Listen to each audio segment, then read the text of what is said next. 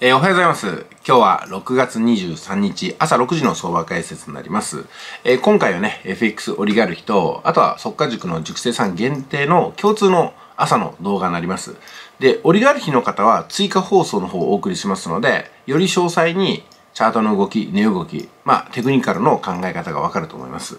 で、えー、速化塾限定版をご覧の方は、今までね、え、私の方がずっとね、オリガルヒ的な解説をしてきましたんで、6月の前半の方で。で、そちらの方を思い出していただきながらテクニカルをもう一回ね、自分なりに咀嚼していただければと思います。それではいつも通り、冷やしの方から見ていきますので、こちらをどうぞ。はい、え冷やしなんですが、あと、ここをね、超えましたというところをお話しました。で、超えて、今、これがね、どんどん伸びていくところなんですけども、一旦 N 字を書くような形になって伸びるのかもしれません。はい。今後の展望ですけども、えっと、今週ですね、一回、えー、まあ、緩やかな下げは経験するかもしれませんけども、一回、買いで突き上げる瞬間が今週来るんではなかろうかと思っております。まあ、それは今までお話してきたテクニカルの形から、あ今週起きる、うん、とまではね、断言できませんけども、期待が大いにできるってところなんですよ。で、今週起きなければ、来週大きな、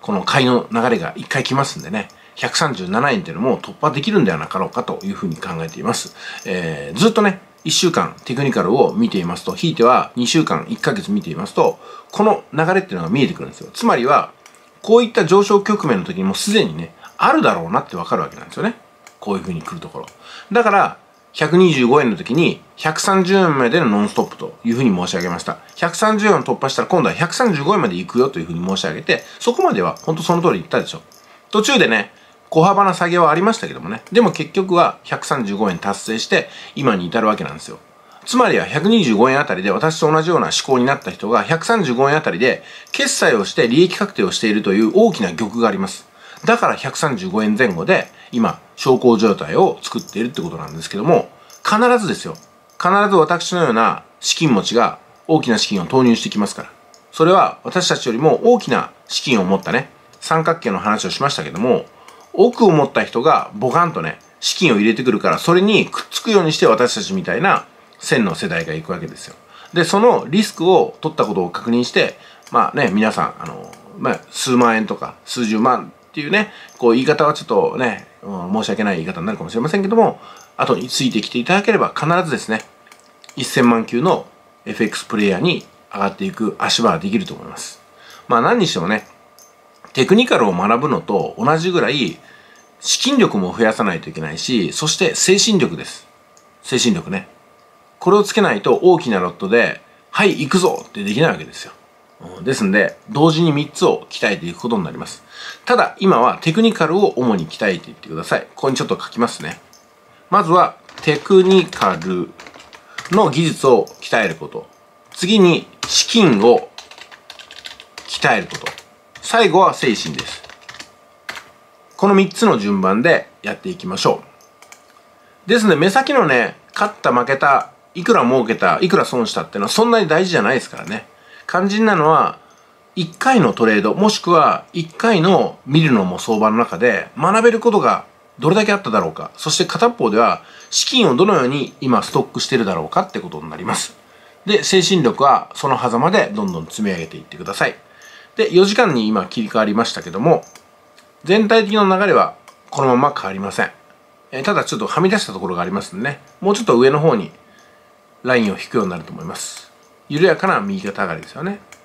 で、これをブレイクして上の方に垂直に突き上げる流れが、まあ、いずれ来るだろうというところです。こことかね、ここのようにですよ。もしくはこことかここのようにです。まあ、今のところね、えー、いつ来るのかっていうのは全くわからないところですけども、ただ、この右肩上がりの流れを繰り返す中で、今週1回ぐらいは、もう1回ぐらいはね、来るんではなかろうかっていうふうに期待してます。今週なければ来週ですけどもね。で、それはこのテクニカルの形で、えー、そういうことが往々にあるわけなんですよ。この形ね。これはね、テクニカルの総合力です。いろんなテクニカルの要素を官が見ると、ここから大きく下に下げるっていう要素はほとんどないわけですよ。で、横ばいになる可能性はあるけども、その場合って別に損は出ないじゃないですか。ということは、上昇する期待だけリスクリワードが倍の方に傾いていて十分3分の1のリスクリワードは買っていけるってことになりますちょっと言い方難しいですかねこれねちょっと分かりにくかったらもっと別の表現をしてくれというふうな要求を上げていただければと思います。じゃあ1時間足なんですけども、昨日はね、30分足も見ましたけども、1時間で説明しますと、大きく突き上げる流れがありました。ここには、えー、まあ、奥から数千万の人の資金が入ってます。で、あとは、小さな資金がここでちょこちょこ入りました。ローソク足がちっちゃいでしょ？で、ここまで上がったのを見て、小さな資金を入れた方は利確を始めてるんですよ。ですんでこうなりました。で、追加資金をここの人が入れるかなと思ったら多分入れてないんですよね。で、また小さな資金を入れていく人、ここと同じような人が資金を入れてます。で、えっ、ー、と、この辺で決済がだいぶ起きてますけども、この資金ってのは相変わらず動いてません。ですんでこれ上昇していってまたね、ここと同じ水準になったでしょ。だからもう一回突き上げるチャンスが復活したってことなんですよ。昨日はここで突き上げるのかなと思ったら、残念ながらこの辺りで止まっちゃいましたんでね、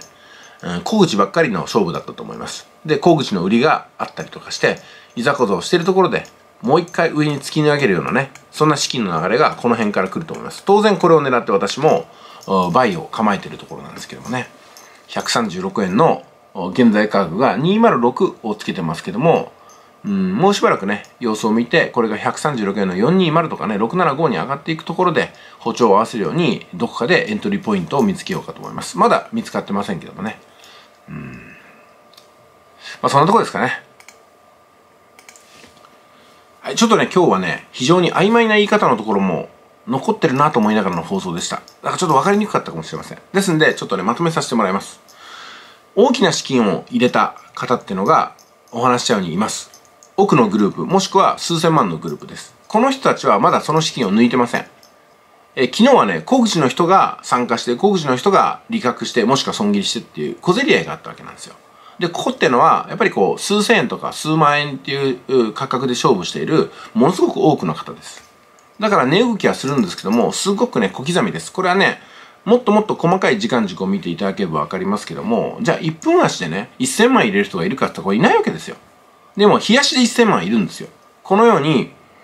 時間軸が大きければ大きいほど、資金の大きい人がそこに存在してます、基本的には。で、時間軸を小さくすればするほど、5分とか1分になると、小さな資金でやり取りしてる人が増えるんですよ。で、この原則に立ち返っていけば、あの、大筋を見失わないで、見失わないで済むと思いますが、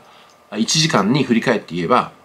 大きな資金を入れて、136円の200あたりまで引き上げてきた、ちょっとロットの大きい人たちってのは資金をまだ抜いてませんので、これからですね、その人たちの第2波が来ると思います。この第2波っていうのは、おそらく137円まで、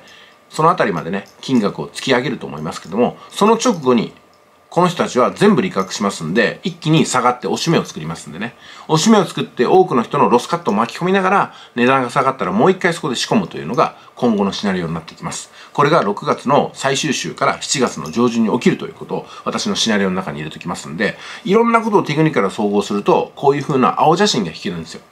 もちろん、そうならない場合もありますんでね。そうならなかった場合は、別の、こうね、なんですかね、仮説を早急に立てなければいけないってことになりますんで、今のうちから別の仮説はどんなことが考えられるかなっていうふうに組み立てながら今後の相場解説をさせてもらいますんで、難しいかもしれませんけどもね、